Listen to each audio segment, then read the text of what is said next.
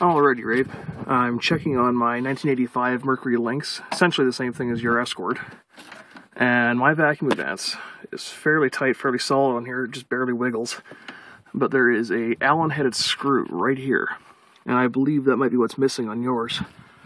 So I'd check that first before we decide to uh, change the distributor to one that's uh, not broken.